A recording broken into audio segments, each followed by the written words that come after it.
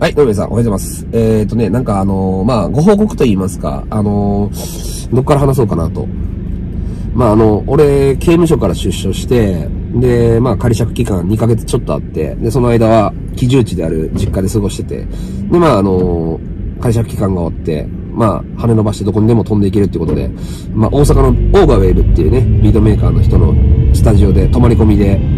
まあ、漂流画だったりだとか、オールリベレーションっていう EP、アルバムだったりだとかを出して、で、そこからまた半年間、その人のスタジオの近くで家借りて、大阪で拠点を置いてね、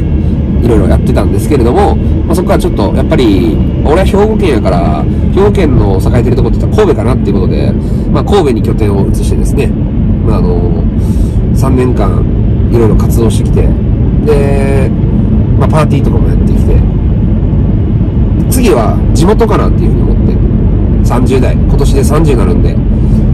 まあ、淡路島戻って、僕お店やろうと思ってまして、まあ、あの服置いたり、オリジナルのウェアね、置いたりだとか、ネットサイドストアのもの置いたりだとか、であとは古着とか、あとは、なんかメガメガネ置いたりだとか、で、あと、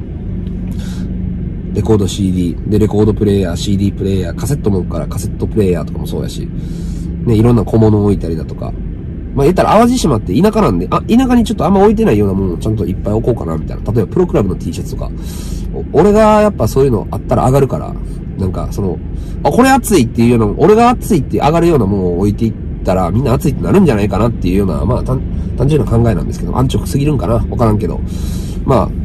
そういうのを置いて。で、まあ、同じ区間で、まあ、昼間は喫茶店として、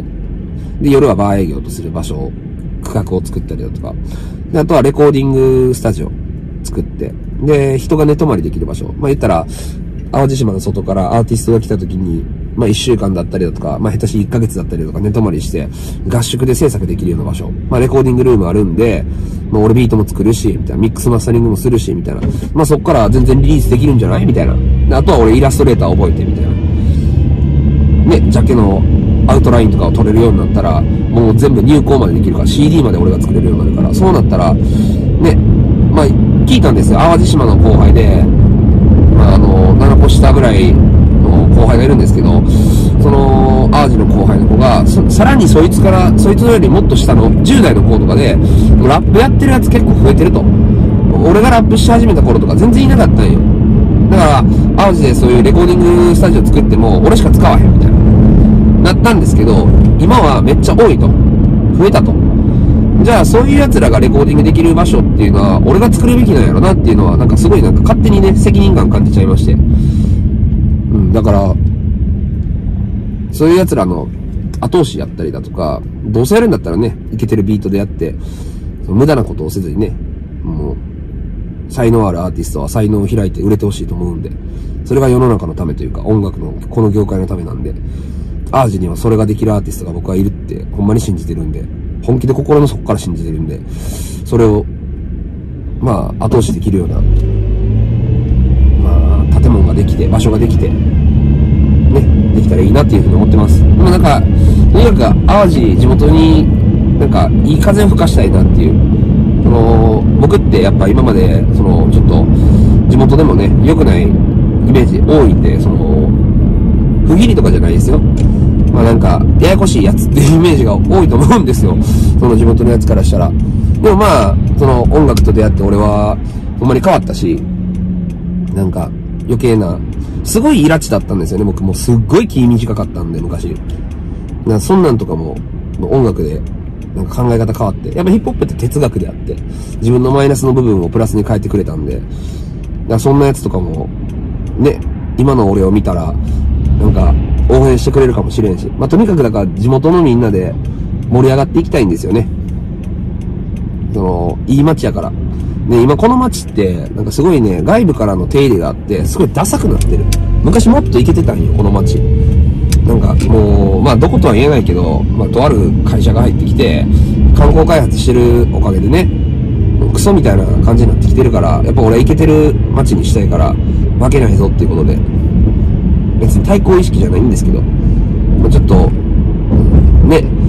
島の才能ある子が、そっち、お、これの方かっこいいんかなみたいな、ちょっと誤解をしてほしくないんで、やっぱり元々の、な、なんていうんですかね、ネイティブ淡路が生きてるみたいな、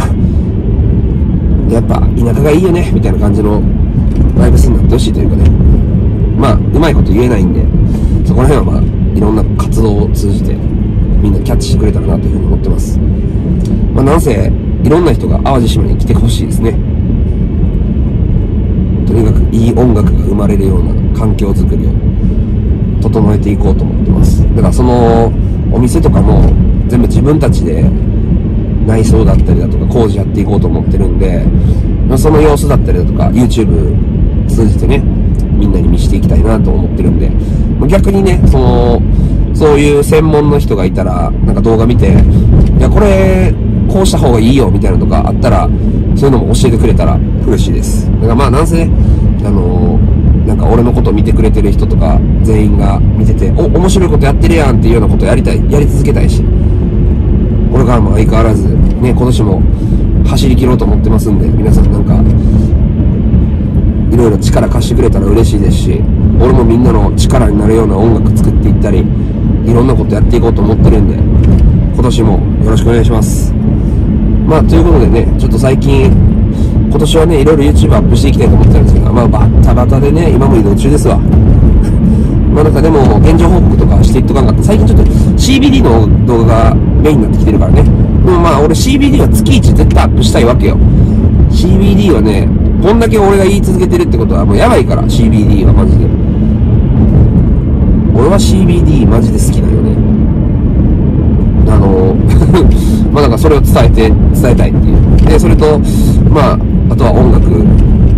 やっぱね、ビートメイク講座とかやりたいんやけど、その動画の編集の時間がちょっとなくて、今、バタバタしすぎて。あの、もういつでもできる。いつでもできるから、ほんまに近々やろうと思ってるから、もうちょっと待ってね、みんな。まあ、そんな感じで。ということで、ちょっと目的地つきそうなんで、そろそろじゃあ動画終わ終わろうかなっていうふうに思ってます。まあ、あのー、ほんまに、リリースもいっぱい、あのー、準備しますんで、えー、2月にも、今月末にもね、23日か、新しいリリースありますんで、えー、皆さん、まあ、僕と僕の友達、僕の周りの音楽を聴いて、